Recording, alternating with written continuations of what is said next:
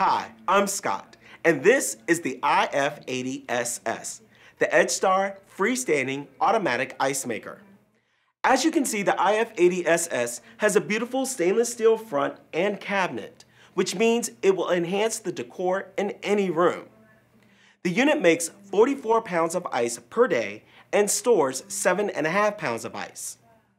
It has a flush back design and dual side exhaust, which means you can install it virtually anywhere.